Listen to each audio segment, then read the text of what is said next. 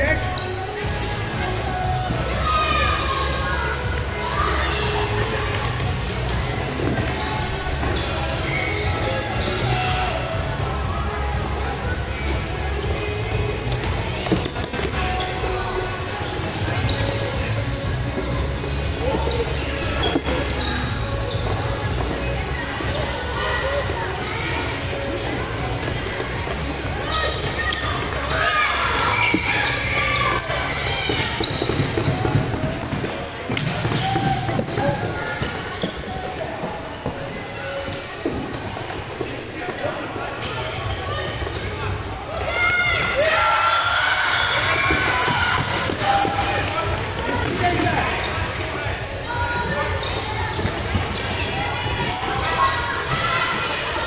Další hře se na hřišti číslo 1 připraví základní škola Abrahamova Česká Třebová a základní škola Zámecká Lejkoviště.